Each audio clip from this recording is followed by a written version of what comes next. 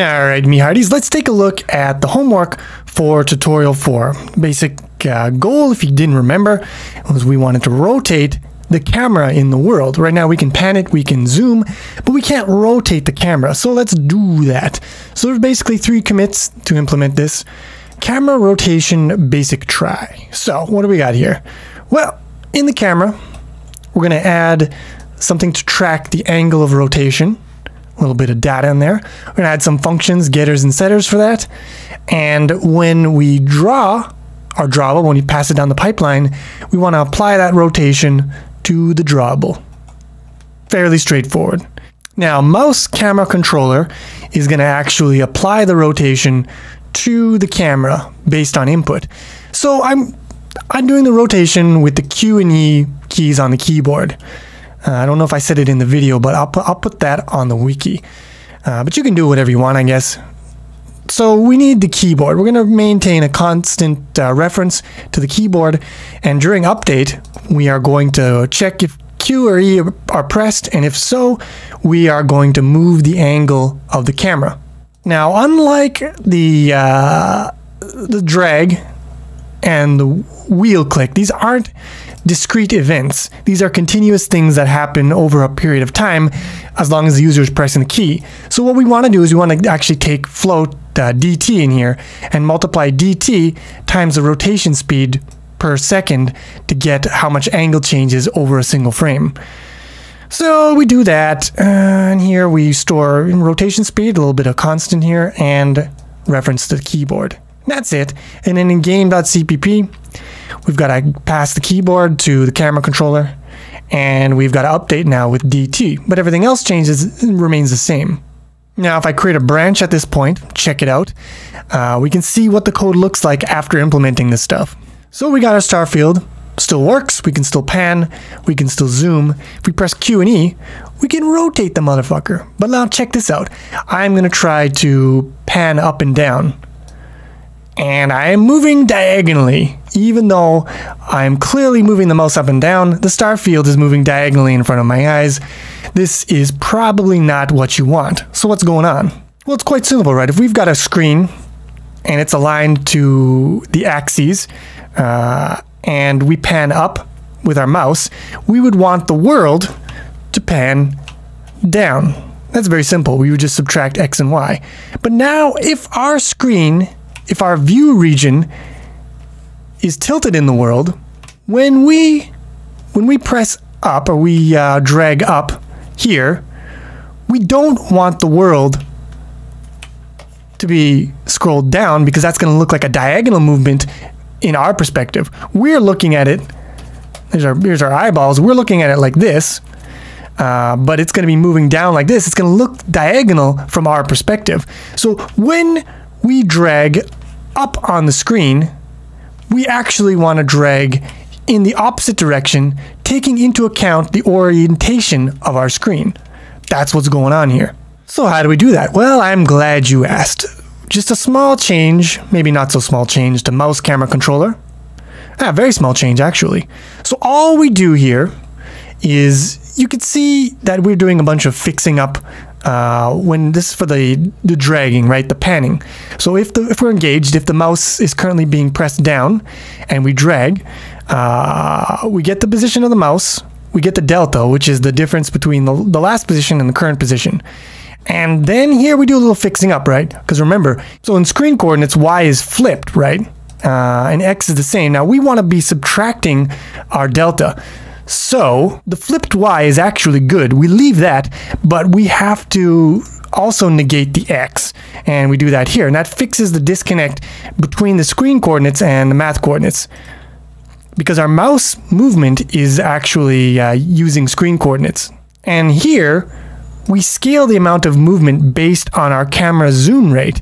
And so that means that it tracks perfectly with the movement of the mouse instead of being different depending on what zoom level you're on. So that's good. A little bit of fixing up depending on the differences between coordinates and some transformations that our camera is applying. And we just want to add one more fix up here for the transformation of rotation. So the basic idea here is if we have some screen here and it's being rotated by some angle and we drag up on the screen, we want to rotate that dragging vector by the same angle that the screen is rotated at. And then when we do our subtraction, that will move the world in the correct direction. So dragging up will make the world look like it's moving down with respect to our window. So we just do, after we've uh, fixed up delta here, then we rotate it by the negative of the camera angle to undo that transform. And if I create a new branch, RoteCam2 here, and I check it out, now we can see we can drag, it's good. You can dance if you want to. You can rotate, and then if you drag up and down, it's still moving in the expected direction. Now there's one last problem here. I want to bring your attention, let's see here. Look at this star here. Watch as I drag it out of the view. It disappears, right? It's disappearing. It's back. It's gone. But it shouldn't be gone. It should still be visible here. Why is that? Well, look here. We've got this dank, dark region here. We've got a little bit of a dark region here. Uh, maybe one here too. It looks almost as if our clipping rectangle is rotated wrong with respect to our window. And that's sort of true because we, we've rotated our window, but our clipping rectangle calculation is still aligned to the original XY axis, and that's no good. So just a little example here, a little diagram. We've got the uh, stars, they're blue. This is the original uh, clipping rectangle without the rotation taken into account. So it's going to clip, it's going to keep these guys and that's good. But it's gonna it's gonna uh, discard all the other stars, not gonna draw them. And for example, here and here, where stars should be appearing on the screen, they're not going to appear on the screen. Now, the way you could fix this is you could take your your original clipping rectangle, rotate it to be like this, and then clip the stars to this rotated rectangle. But clipping to a rectangle that is not aligned to the axes that is difficult. We don't want to do that because I want to do hard things.